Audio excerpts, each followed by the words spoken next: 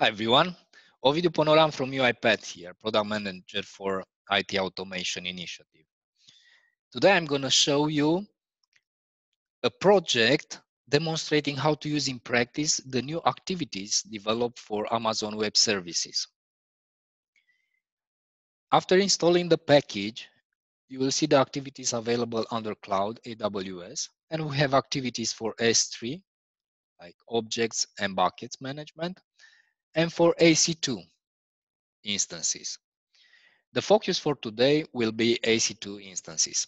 We also have an activity Amazon Web Services scope, which provides a scope for others uh, activities of this package and connects to Amazon Web Services. Let's look at the workflow. So we have a workflow create instances stop instances and delete instances, which I will not run because I want you to see the result of uh, executing these workflows. And we will also look at EC2 Management Console to see the result of running this workflow.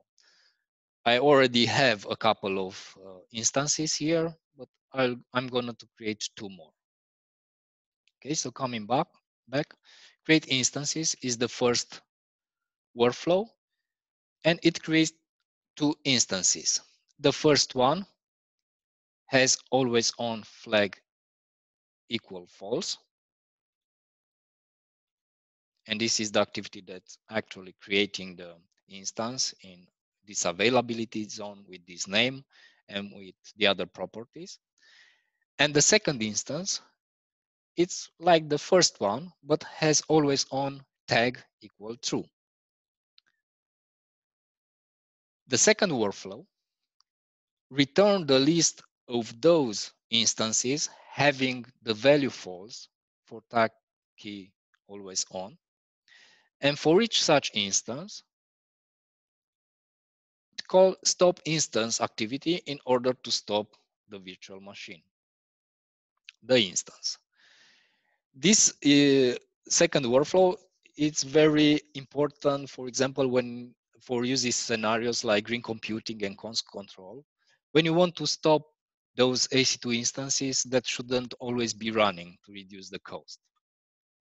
And finally the delete instances returns the list of instances that have been created by me having the tag value for creator of Ovipono Cluj and terminate each instance. I will run the workflows. I'll put the video on pause and resume it after to see the result.